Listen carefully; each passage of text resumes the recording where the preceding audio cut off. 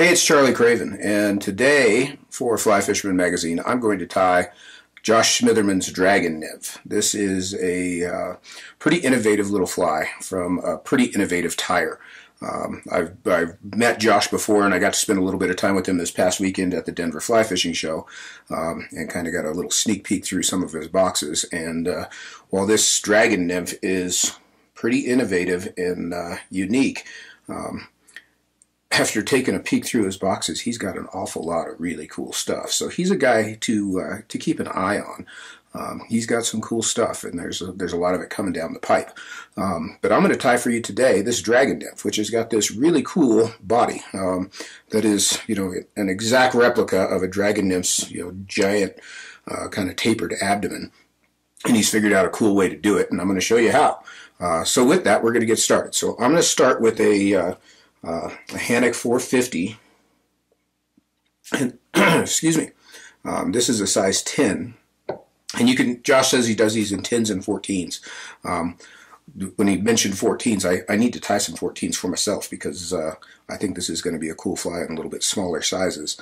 Um, obviously, you know, any still water situation, there's going to be dragonfly nymphs and uh, um, you know carp and bass fishing. Josh is a uh, a bass guy for sure, uh, and he said he always has bass at the at the forefront of his uh, thoughts when he's coming up with the pattern. But um, I could sure see that being an awfully good carp fly too, um, and Josh confirmed that as well. Uh, just one step ahead, man. Um, but gosh, what a cool little fly, huh? Um, so we're going to tie this on this 450 BL, um, size 10, and I've got some 8-aught Veevus in light olive.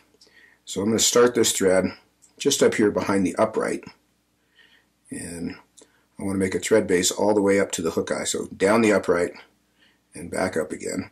Um, and one of the things that threw me off when I first started tying this fly is I wanted to tie the eyes too far forward. You want to leave the eyes a little further back. Um, so I'm going to take a, uh, a pair of black bead chain, black metal bead chain eyes. These are size medium for a 10. And I'm going to tie these in um, on the flat part of the hook shank. And I'm going to use X-Wraps to do this. Go back and forth, several turns each direction. Um, and I want to get that anchor down good and tight. And, and really what I'm trying to do here, you know, obviously tie them down, um, but also build up some of the thread between the eyes. And then I'll take a bunch of turns between the eyes and the hook shank to anchor those further. Um, so I've got something that looks like that.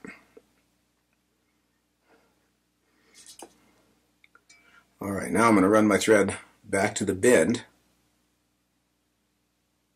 and back forward again and then back to the bend one more time.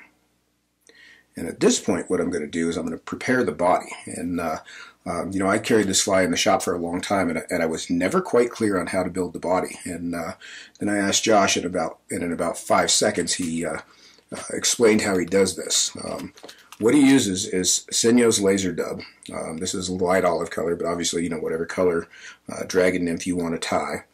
Um, what you're going to do is you're going to pull several clumps of this out, like so. And what I what I want to do to these is sort of align those fibers. So you can see I'm just pulling that apart and restacking it. Kind of bundle that up again. I want to get all those fibers going, for the most part, all the same direction. Uh, nothing going crossways to it. This is a long fibered dubbing. So I just want to get those aligned. Um, then one thing I found that's handy to do is I'll take each end of this, I'll take my dubbing needle kind of from the center of my, uh, where my fingers are pinched at the center, I'll just sort of sweep out toward the ends. That'll get anything that's that's trapped down in there you can see there's a few fibers that are still going crosswise into a nice neat little bundle like so. Now I'm going to take this clump and I'm going to pinch it at the middle. Um, and I feel like I've got more than I need here, so I'm going to thin some of this out.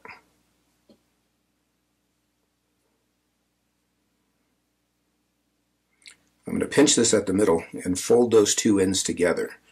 Um, so I've got a little nub here on this back end. And I'll pinch that in my fingers and kind of sweep this all together. And again, I go, go through this with my dubbing needle And that just kind of gets everything, again, going the same direction. So I just have a little brush of this material. Now I'm going to bundle this up. And I don't really twist it. I'm just going to bundle it up and pinch it tight in my fingers. And then just beyond the end of my fingers, I'm going to cut it off square. Now I'm going to come in and take a cigarette lighter. Are they still called cigarette lighters? Does anybody still use these for cigarettes? I don't know. Um, but at any rate, what I'm going to do is I'm going to take it, I'm going to singe the end of that and then pinch it.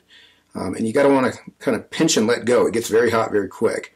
Um, and pinch it and roll it in your fingers to form a little point. And you can see I can kind of inch my fingers back. Um, once I get that initial burn on there, I've got it bundled, and I can heat it up a bit.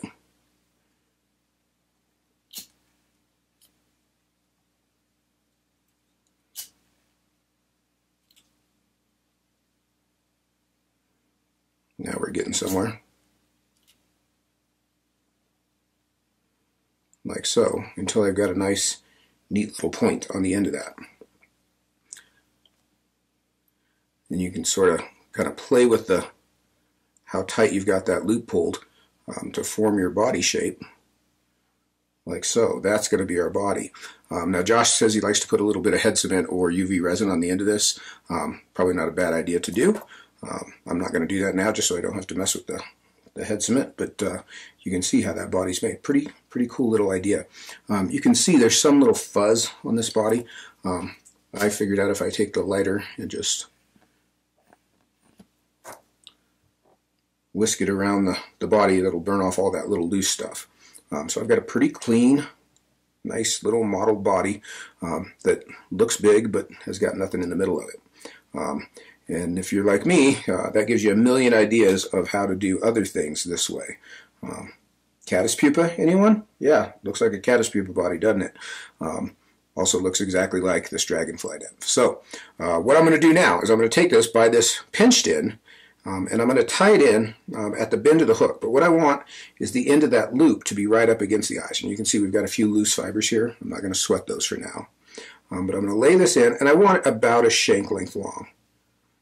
So I'll kind of get my measurement.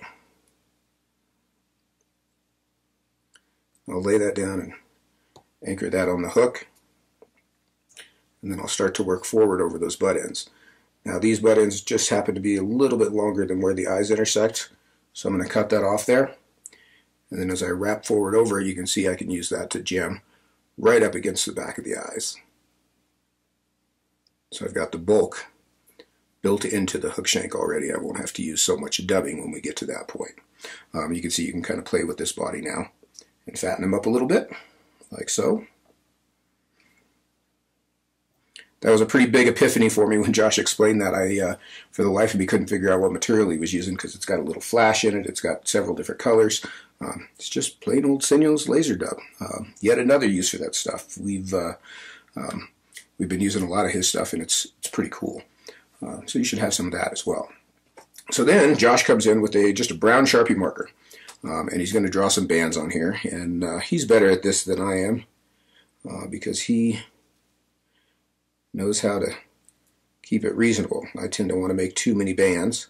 Um, but the little sample that Josh tied for me had four bands, so I'm going to try to put four bands on there. Um, I'm going to go all the way around. Now keep in mind, this is tied on a jig hook, um, so this is going to ride hook point up. Um, so you want to make sure that you get around the bottom side as well. And Josh makes these bands pretty thin.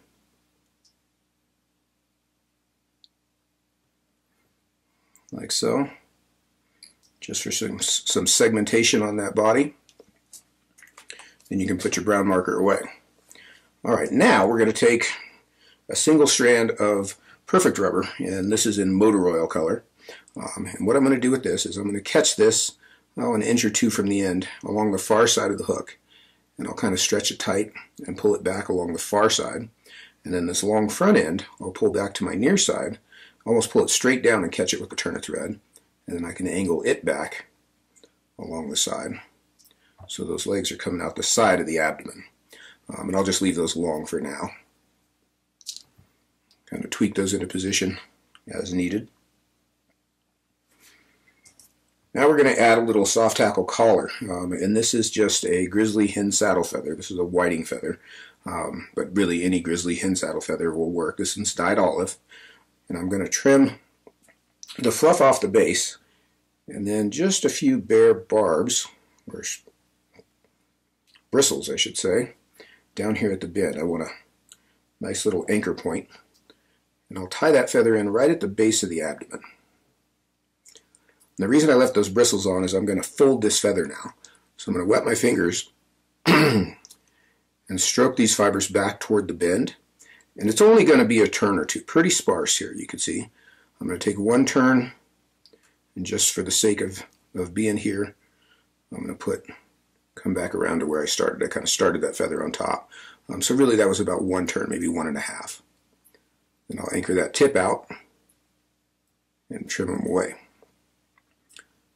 Just a couple turns over the stem and you can see on the on the hook sometimes these barb uh, hackle barbs um, will catch on your hook point. Uh, just use your scissor tips to clear those back out of the way like so. So just a short little collar there. All right now we're going to dub the thorax. Um, and Josh uses uh, Whitlock SLF dubbing um, which is hard to get these days um, there's been uh, it's not discontinued. It's just not uh, not been delivered for a while. Which this is a you know supply chain thing with COVID. Um, so what I did is made my my best imitation thereof, uh, which was some uh, uh, caddis green Hareline dubbing and uh, some nature spirit, spirit peacock emergence dubbing, um, and just about 50-50, 60-40, maybe 60% rabbit, 40% uh, Antron. Um, but you can see it's just a, a spiky blend. Um, I tried it with the synthetic alone, and uh, it's fairly coarse to dub with a little bit of rabbit mixed in there. It dubs much more nicely. So I'm going to take this dubbing, and I'm going to twist on a nice tight strand. Um, we're going to build a, a fat thorax here, but I still like this dubbing to be tight. I don't like to go about it too loosely. It just is much easier to maintain and build a shape if you've got a tight strand of dubbing. So I'm going to start to wrap this dubbing, and I start it just up here behind the eyes. I'm going to wrap back to the front edge of that hackle. And I want to fatten this up a bit, and you can see I can kind of tighten this dubbing down a bit as I go. And when I end, I want to end with bare thread hanging in the middle of the thorax. And at that point, I'm going to take the remaining piece of my uh, uh, perfect rubber and I'm just going to form a loop like so. I'm going to lay this in on top and catch it with a couple, two, three turns. Now what I can do is grab each side and I can slide that down along the sides of the hook. And I just want to square that up like so that the, so that they're sticking out the sides of the thorax there. And you can see when you pull on the thread, you can kind of flare them a bit more if you need to. And I'll take a little bit more dubbing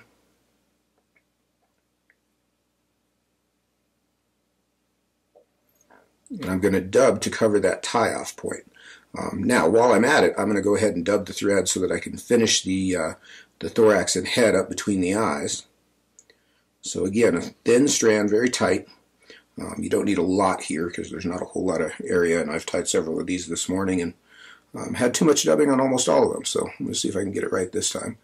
So just a couple turns to cover that tie off. Then I'm going to fold that loop back, and I'll put a turn right up against the front edge of it. You can see I can kind of wedge that in there. That'll help make those legs stick out more at a right angle. Um, you can, just while I'm here, you can spread these legs out a bit if you want to put an extra turn of dubbing between them. I can't imagine that makes a difference to the fish, um, but should you uh, should you feel like you want to control where those legs sit, um, that's how you'd go about it. You can actually use that dub thread to to push those materials where you need them to be. I'm adding just a bit more dubbing here. And I'm going to X between the eyes. I see I just need just a tiny bit more. See, I said I was using too much. Now I'm using too little.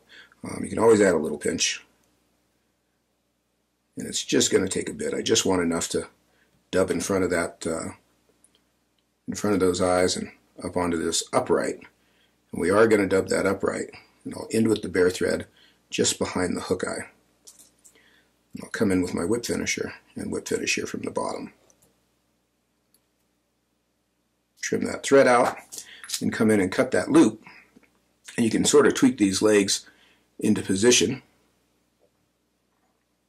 like so. Um, and what I, what I ultimately want to do is I want these back legs, the first set, just a little bit longer than the body. And then the second set, I want just a little shorter than that. And then these front legs are about that same length. Um, and you can see I'm just sort of eyeballing. Um, if you need to trim twice, by all means do it. But that is a what turns out to be a super simple, super realistic dragonfly nymph. Um, dragonfly nymphs are, are, you know, every every lake you've ever been to, um, or slow moving uh, piece of water, uh, you've seen dragonflies. Um, so those dragonfly nymphs are present, and that's a big bite of food. Um, you know, fish get on those. That's that's a bug that they see. Um, not a lot of patterns out there for this one either. You know, that's uh, Josh said he was in a uh, entomology class and they had sampled a river. Um, he's from Texas, and I'm not sure which river it was that they sampled, um, but uh, they had sampled uh, some bug life out of the river, and there was just a ton of dragonfly nymphs, and that's what uh, gave him the idea to start fishing them. But uh, there wasn't a ton of uh, dragonfly patterns to be found. And uh, really, the only one I can think of is the old Kaufmann's dragon. Um, but this one maybe does that one one up. Um, pretty cool bug, great silhouette, really innovative tying technique. Um, like I say, keep an eye out for old Josh Smitherman. He's got some good stuff coming your way. Um, all right, that's it for me. I'm Charlie Craven with Fly Fisherman Magazine. I hope you enjoyed that. Come back next month. Take care.